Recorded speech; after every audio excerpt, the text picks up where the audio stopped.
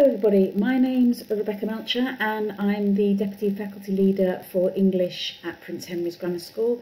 Um, I've been teaching Year 11 and Year 13 students for many years and have learnt quite a bit about what um, best suits various students in terms of revising, relearning, reviewing and being prepared. Um, and this is what revising looks like. Um, but my presentation is different from the others because the others all um, are about students sitting down at a desk, preferably with a laptop, with a pen, with paper, um, the traditional, conventional way of revising, and I have to say, probably for most people, most of the time, the most effective. This is what revising looks like. However, what I'm here to tell you very briefly is what, what revising can look like. So, um, this is not students revising, this is students relaxing. And of course, students relaxing is incredibly important as they head towards their GCSEs. It's very important that they do this kind of thing when um, they are not revising, chatting with friends, um, just listening to music, switching off, going for a walk, getting fresh air, getting exercise, just lying down and just chilling out. However, this is what revising can also look like if necessary. Um, if your child does not want to be sat at the desk any longer in a quiet room, but feels like they need to do some more revision or they want an opportunity to top up the learning that they've done by sitting at the desk or by doing some uh, some work at home um, in a different room, but they want to transfer, they want to go out, they want to um, do something, but they just want to make sure that the work that they've been doing that morning or whatever has gone in. Or you've got a different situation. You might have a child who has to travel a long way every single day and is anxious about the fact that that is wasted revision time or time that they could be revising. So they're on a bus, they've got headphones in, and they're revising. So this is what my presentation is about. It's about using the internet. It's about listening to things. It's about downloading stuff while you're on the move. It's about um, going to websites which your students would, which students would have heard of, Seneca, Everlearner, um, uh, another app which um, you can get on your phone where you can get a whole array of different um, different applications uh, Mr. Bruff podcast. There are so many ways in which students today can learn and revise without sitting at a desk. Now, I know that in itself isn't telling you anything perhaps that you don't already know, um, but it might be interesting for you to know that if your child's got their headphones on and you're getting a bit exasperated, they could well be listening to a GCSE science podcast. Um, so it's worth remembering that if it sometimes looks as if they're not revising, this might just suit them at this moment to be doing revision like this.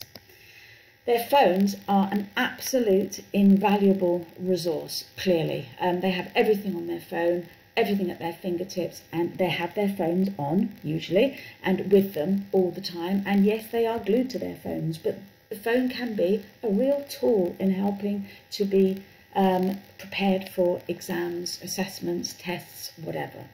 So, we use our phone to record if we're revising, we use our phone to listen, and we use our phone to share. And all of those things can be revision tools, unconventional but revision tools.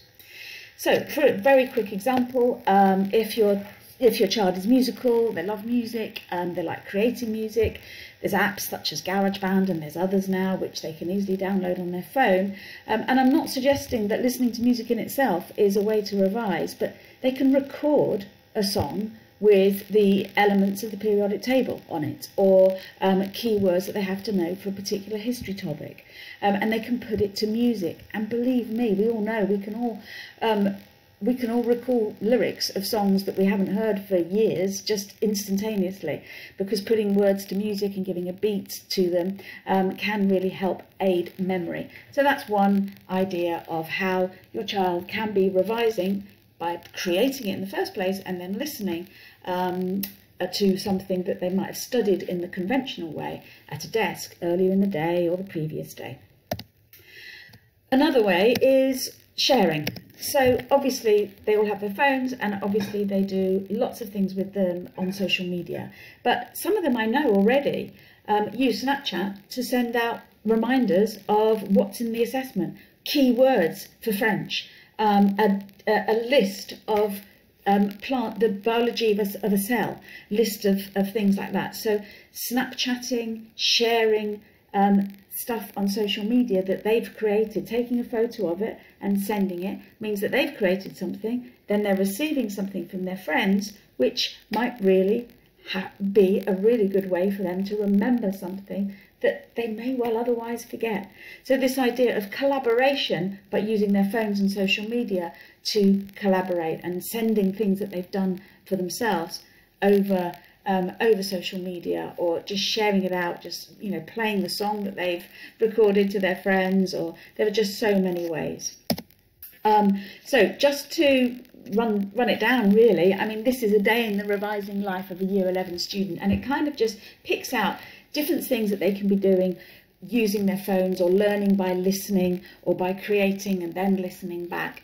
So there's a long list there, and obviously, no year 11 student is ever going to do this day. I would never expect them to, but it kind of just gives lots of different ideas of how you can, how they can interject within their day little moments where they are consolidating their revision that they've done or creating a new revision resource or just hearing something that they've just recorded just to, um, to kind of confirm what they already know. So I'm not going to go through all of it, but you can kind of see that walking the dog can involve um, revising about plant cells. Walking the dog, telling them, talking to the dog as they go along with their phone, because they all like to pretend, you know, we're on a fake call, because, you know, we don't want to be seen to be walking without being on the phone, so with their headphones in, probably. And instead of actually having a conversation, they're actually revising something as they're walking, but record it. Tell them to record it, then they can listen back to it later. Um, audiobooks are fantastic um, for downloading, and you can get many of them free now. You can get Shakespeare um, podcasts for free, where just the play is uh, easily, they just type it into Google, Google um, Macbeth's audio or Romeo and Juliet audio, um, and they can download it to their phone for free, and they can listen to it while they're on the bus, or while they're getting ready for school, or while they're waiting for the bus, or walking to the bus stop, or whatever. Um, so there's lots and lots of ideas here, in, including YouTube videos, which are actually really good. Um, sometimes it's quite good to sit and be taking notes while you watch a YouTube video, but sometimes it's quite good just to be watching it while you're doing something else and it's going in, might not be in the same way, but it is going in or it's reinforcing something that they've already learnt.